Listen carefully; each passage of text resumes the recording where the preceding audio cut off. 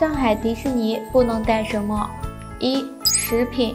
二、酒精饮料，超过六百毫升的非酒精饮料；三、罐装或玻璃容器。上海迪士尼安检不得携带以下物品入园：